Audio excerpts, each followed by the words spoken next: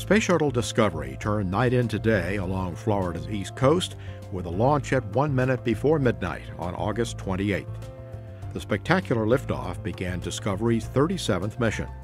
Two days after launch, Commander Rick Sturckow carefully guided the 100 ton space shuttle toward successful rendezvous and docking with the 350 ton space station as they orbited 225 miles above Earth.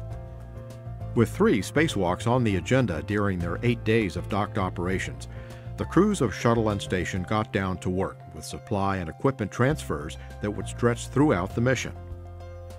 In addition to supplies and research facilities, the flight delivered a new crew member to the International Space Station.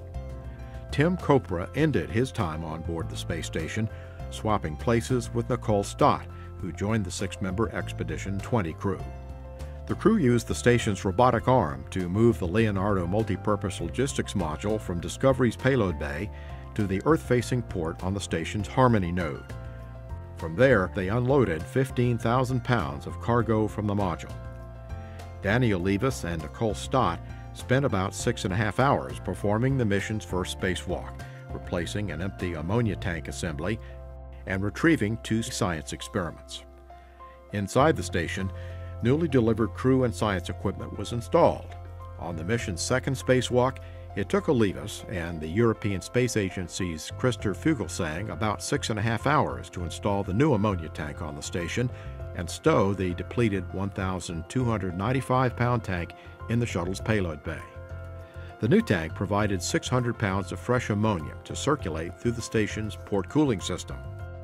Olivas and Fuglesang also were paired for the mission's third and final spacewalk.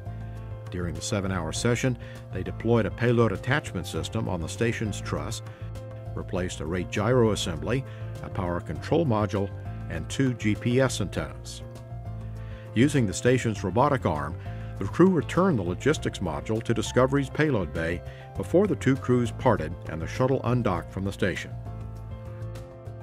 A weather delay kept Discovery and crew in space an extra day and also prevented them from returning to Earth where their mission began at Kennedy Space Center. Instead, the shuttle touched down safely at Edwards Air Force Base in California on September 11th, ending a successful 14 day mission.